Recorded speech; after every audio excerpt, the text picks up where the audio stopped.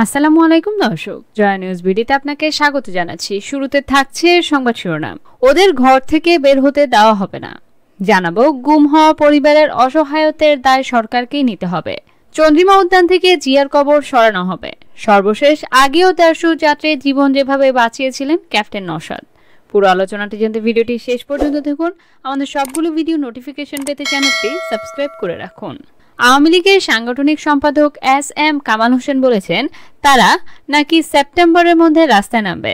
তারা রাস্তায় নামুক, আমাদের কোনো আপত্তি নেই।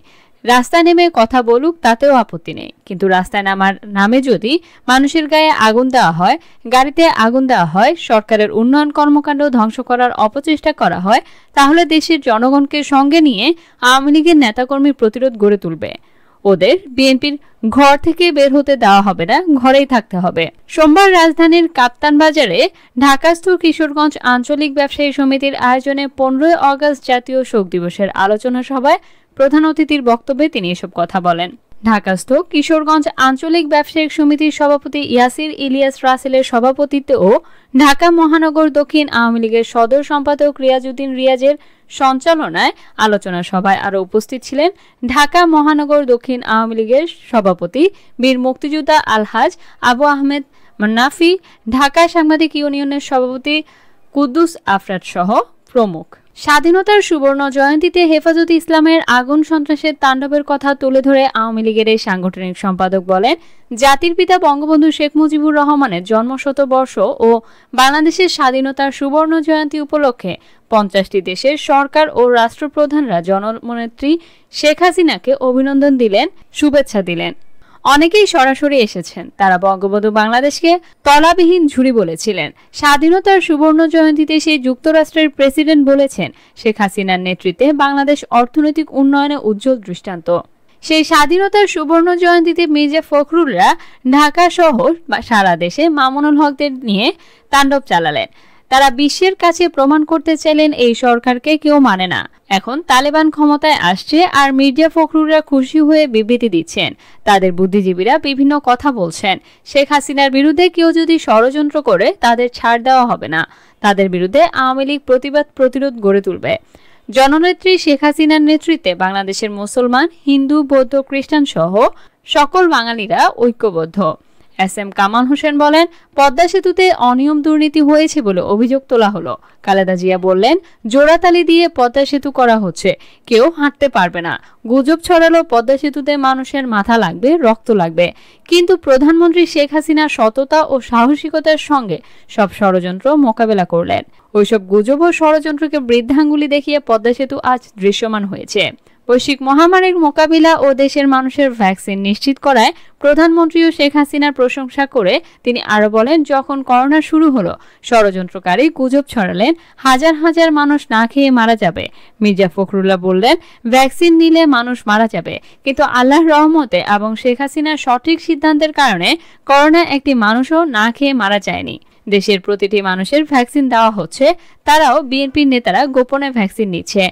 বিএনপি অপপ্রচার ও মিথ্যাচার ছাড়া কিছু পারে না। আওয়ামী লীগের সাংগঠনিক সম্পাদক বলেন, জিয়াউর রহমান অবৈধভাবে ক্ষমতা দখল করে স্বাধীনতার স্বপক্ষে শত শত সেনাবাহিনীর অফিসারদের হত্যা করেছে। বিমান বাহিনীর পাঁচশো একান্ন জন অফিসারকে হত্যা করেছে। আওয়ামী লীগের নেতাকর্মীদের গ্রেফতার, গুম ও খুন নির্যাতন করেছে। তিনি আর বলেন, বিএনপির একজন আবাসিক নেতা আছে, মিথ্যা ও অপপ্রচারের বাক্সও আছে। তার এই অপপ্রচারের বাক্সের এমডি তারেক জিয়া এবং সিও হচ্ছে আবাসিক নেতা রিজভি। প্রতিদিন ঘুম থেকে উঠে পল্টনের অফিসে বসে এই আবাসিক নেতা বলেন, সকালে উঠে আমি মনে মনে বলি, সারাদিন আমি যেন মিথ্যা কথা বলি। মিথ্যা অপপ্রচার করি, এটাই তাদের চরিত্র। চলে যাচ্ছি পরের সংবাদে। গুম হওয়া পরিবারের অসহায়ত্বের দায় সরকারকে নিতে হবে বলে মন্তব্য করেছেন মির্জা ফখরুল ইসলাম আলমগীর। আন্তর্জাতিক গুম বিরোধী দিবসের দিন সোমবার দুপুরে এক মানববন্ধন কর্মসূচিতে বিএনপি মহাসচিব এই মন্তব্য করেন। তিনি বলেন, এই পরিবারগুলোর অসহায়ত্বের দায় কে নেবে? এখানে অনেকে আছেন যে নয় বছর, দশ বছর ধরে তাদেরকে খুঁজে পাওয়া যাচ্ছে না। আমাদের সাবেক এমপি, সাংগঠনিক সম্পাদক ইলিয়াস আলী, ঢাকার কমিশনার চৌধুরী আলম সহ আজকে আমাদের পাঁচশো অধিক নেতাকর্মী গুম হয়ে গেছেন সাত, আট, নয় বছর ধরে। ইলিয়াস আলীর মেয়ের এখন বড় হয়েছে। সে এখনও দরজার কাছে দাঁড়িয়ে থাকে যে কখন তার বাবা ফিরে আসবে। বাবা ফিরে আসে না। বাচ্চাদের হাজারি আপনারা শুনলেন। আপনারা সরকার বলেন যে এখানে এখনও গুম হয় না। তাহলে গেল কোথায়? দায়িত্ব তো আপনাদের। খুঁজে বের করে তাদেরকে তাদের পরিবারের কাছে একে একে ফেরত দিন। এটা অবশ্যই আপনাদেরকে দিতে হবে।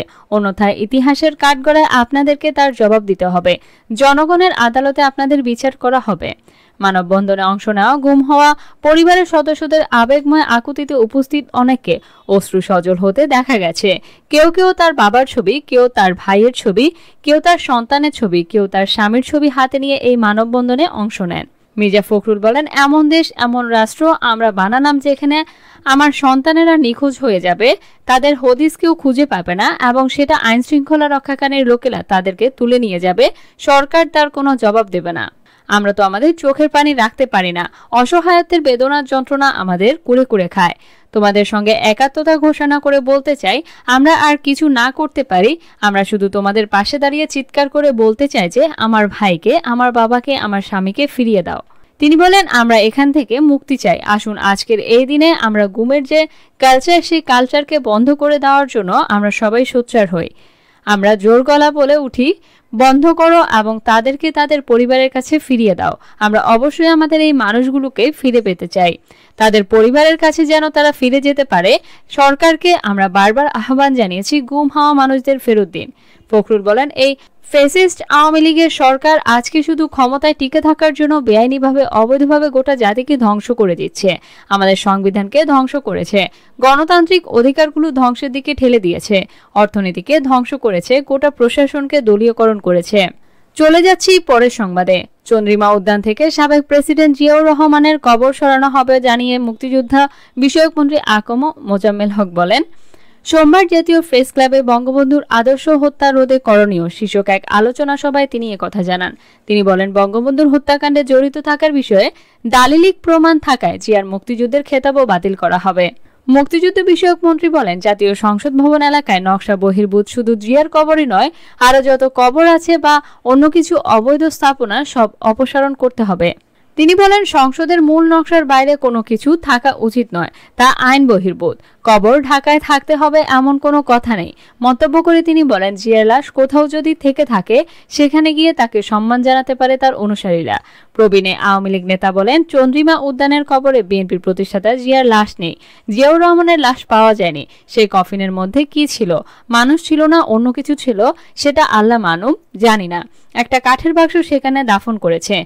চন্দ্রিমা উদ্যানের কবরে কার লাশ? তার শনাক্তের কথা বলেন তিনি। চলে যাচ্ছি পরের সংবাদে। শুক্রবার মাস্কাট ঢাকা রুটে বিমান বাংলাদেশ এয়ারলাইন্সের schedule flight BG, zero two two মোট একশো চব্বিশ যাত্রী নিয়ে ঢাকায় আসার পথে পাইলট ক্যাপ্টেন নওশাদ আতাউল কায়ুম হঠাৎ অসুস্থ হয়ে পড়েন। পরে ভারতের মহারাষ্ট্রের নাগপুরের ডক্টর বাবা সাহেব আম্বেদকর আন্তর্জাতিক বিমানবন্দরে ফ্লাইটটি জরুরি অবতরণ করে।